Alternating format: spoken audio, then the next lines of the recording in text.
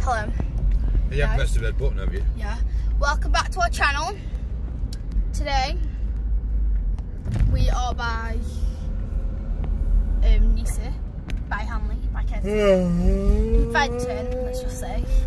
Um and we've just been to collect our tea, she goes, right there. Yeah. Um because that's what we're having tonight. But and then the other kids are having pizza. And then there's my dad. Hi. we're driving home and then we're gonna walk all the way to Munch House. Well, it's fine because we live in Blurton anyway, so it's close. And then we're gonna eat our tea and chill and watch a film. What film are we gonna watch? Uh, we're going to watch. Um, Is it Bumblebee or something? no, Bumblebee. We've seen that loads of times. No, not Oh. Bumblebee.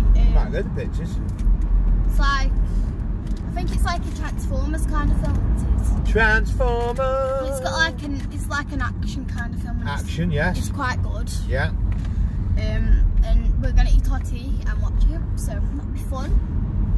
And then, by the way, hopefully we will tomorrow because tomorrow we're going.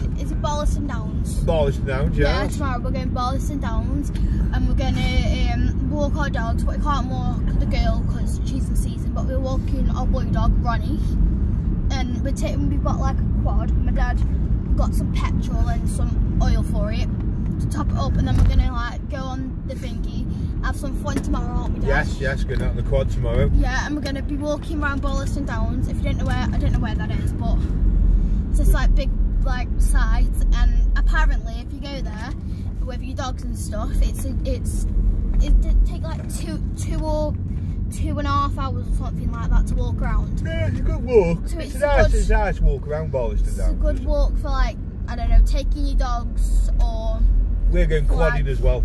like fitness stuff and we're going we're going on a quad so if you have like a motorbike or like a cross or something like that then maybe you could take yours and have some fun there like us Yeah. but then we I'll try and get my dad to record tomorrow while we're at Barlaston Dance because it'd be quite fun and like What's the score, mate? entertaining for you guys Hey? To us? Yeah. Fucking spot on. um oh yeah that was just my dad talking to one of the Stoke fans because if you support Stoke they've just got 2-0 so well Wow. done Stoke Come on, Stoke. They're doing well now. because they normally lose, so it's a good it's a good thing for them. In fact, they've got a new manager. But they got a new manager, that's what He's doing said. really well.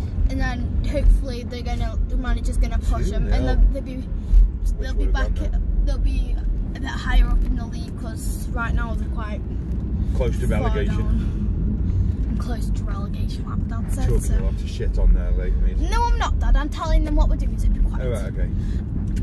And now we're nearly home. Okay, we don't need people to know where we live. Well, some people might know an- anyway, like my auntie Ellie or something. Anyway, turn it off now. Okay, bye.